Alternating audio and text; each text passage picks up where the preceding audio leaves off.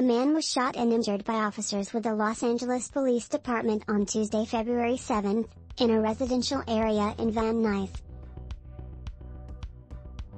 Officers responded to the area of Tyrone Avenue and Victory Boulevard at around 3.40 p.m. and spotted a known suspect riding a bicycle who was wanted for a felony charge, according to LAPD Valley Bureau Deputy Chief Alan Hamilton in a news conference Tuesday night.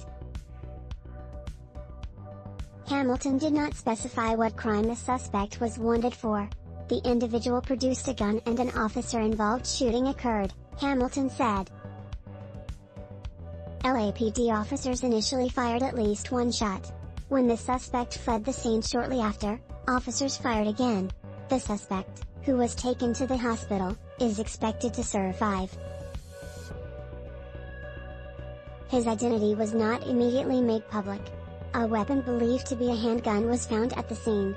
Also at the scene was a white pickup truck with at least one bullet hole. Officers would not confirm whose gunfire the bullet hole came from, or if the car belonged to the suspect. The area of Tyrone and Victory was closed for the investigation,